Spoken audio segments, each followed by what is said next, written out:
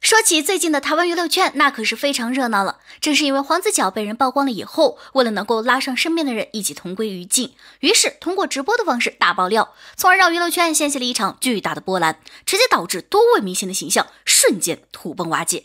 在这次的大地震当中，最先遭殃的就是黄子佼，随后他开始曝光大 S 和小 S 吸毒的问题，紧接着也有人出来曝光陈建州的丑闻，让其陷入了负面新闻的漩涡。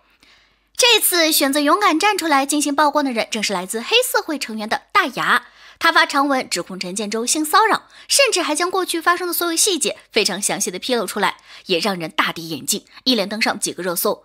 大牙爆料，前老板陈建州十几年前曾性骚扰他，当时两人一起到香港工作，陈建州先是言语骚扰，问他要不要松一下，后来又只身到大牙房间，想要行不轨之事，但好在大牙一直抵抗，才没有受到伤害。可能是瞄准了大牙没有实质性证据，以及事情久远，陈建州这边反倒是很快和妻子范玮琪联合发声明否认，后来又说起诉大牙，并且要求赔偿新台币一千万元。大牙这边也表示法院见。但陈建州的性骚扰事件还没有结束，另一位女艺人郭圆圆也站出来指控陈建州曾经两次性骚扰她。她表示自己第一次被性骚扰是在办公室里。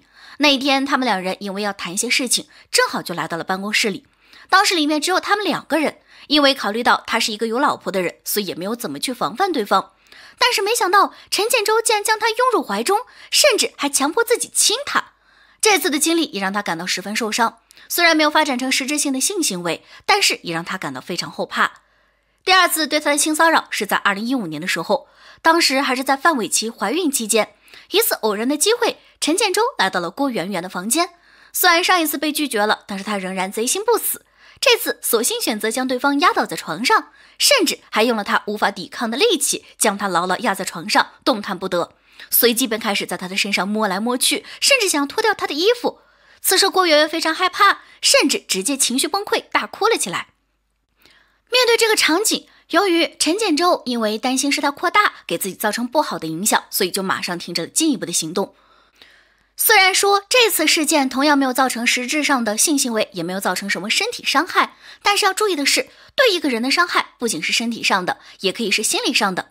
而这次无疑就给他带来了极度严重的心理创伤。对于郭圆圆的指控，黑人不知道是不是心虚，只通过经纪人表示，针对莫秀的指控，他不再回应。陈建州外号黑人，自从和范玮琪结婚后，一直给观众的印象就是爱妻、好丈夫，生了孩子后就是好爸爸的形象。这次性骚扰事件出来，这才让大家看清了他的真面目。而他越来越多的黑历史也被扒出，他的很多行为都太毁三观。一全裸骚扰大 S 妈妈，陈建州和范玮琪一起上康熙时，范玮琪提到陈建州很喜欢到大 S 家洗澡，这让他十分难以理解。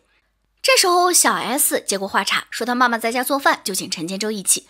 陈建州到了后，在他家洗澡。劲爆的是，陈建州洗完澡不穿衣服，还故意跑到大 S 妈妈面前全裸展示自己的身材，把他妈妈吓了一跳，顿时惊叫起来：“啊，要死啦，建州！”不过，小 S 不觉得陈建州的行为有什么问题，因为他坦言自己也看过对方全裸啊。可小 S 在节目中却解释，大家是纯友谊，不会有其他的心思，所以没有在意陈建州的行为。陈建州自己也不觉得变态或者不好意思，他甚至觉得非常自豪，认为自己的行为没有什么不对。从这一点可以看出来，这个男的三观确实有很大问题。二带摄像机闯女生宿舍，大喊“你全裸了你！”主持节目《我爱黑社会》时，有一次陈建州带着节目组拍摄女生宿舍，女生们可能是不知情，看到陈建州和摄像机尖叫连连，有的成员还在洗澡，甚至没穿衣服。但陈建州一脸兴奋，不管不顾的带着摄像机就开始拍拍拍。不知道他期望拍到什么画面呢？有女生慌忙之下只好裹着浴巾，表情尴尬又有点害怕，说自己没有穿内衣。陈建州看到，非但没有退出去，还举着摄像头拍着女生，还大喊：“你全裸了！”你一点都不避讳。三节目上强吻他人，还伸舌头，这可能是斯琳娜非常不愿意回想的往事。当时十九岁的斯琳娜上节目被要求蒙住双眼，陈建州就凑上前亲在了斯琳娜嘴上，吓得女方捂脸惨叫，大声控诉陈建州伸舌头，声音有些哽咽。节目上陈建州就敢如此，私底下不知道有多大胆。但其实还有很多女艺人都曾遭受过陈建州的毒手。节目中有女艺人爆料自己也被陈建州吻过，还说了吴佩慈的名字，也问了在场的所有女艺人。那碍于陈建州在场，他们只能表示过去的事情不要再讲了，非常不愿意回想被强吻的画面。陈建州不只是强吻女艺人，连男艺人也难逃他的魔爪。上康熙强吻蔡康永，还有罗志祥、陈柏霖、王力宏，每次亲吻时他都紧闭双眼，看起来十分陶醉，怪不得他和范玮琪行婚的消息满天飞。四男女通婚，和王力宏传绯闻，传和范玮琪行婚。陈建州和王力宏的关系非常好，好到两人都传起了绯闻。但这不怪网友误会，因为陈建州和王力宏每次的照片都太让人浮想联翩。陈建州结婚的时候，王力宏是伴郎之一。当时陈建州在社交平台上晒出自己婚礼的照片，但看这构图，王力宏放在中心位，到底谁和谁结婚呀？还有两人带着自己的老婆一起聚会时拍合照，两人要手挨着手。感情很深厚的样子。五，在好友婚礼上玩大尺度游戏，画面辣眼。还有唐志忠婚礼时，作为伴郎的陈建州和王力宏在现场和伴娘玩起了大尺度游戏。陈建州用嘴去叼伴娘胸前的花，这闭眼的状态看起来挺陶醉。伴娘可能有些不好意思，连忙把脸转向一边。王力宏和潘玮柏还被伴娘围着，不知道玩的什么游戏。伴娘们的手伸向了他们俩的裤裆，画面尺度很大。六。多次失禁喝乳，除此之外，范玮琪还公开表示，陈建州多次失禁，不论是家门口还是餐厅，丈夫憋不住就会失禁，有时还弄脏了他的手提包，只是听着就让人觉得难以接受。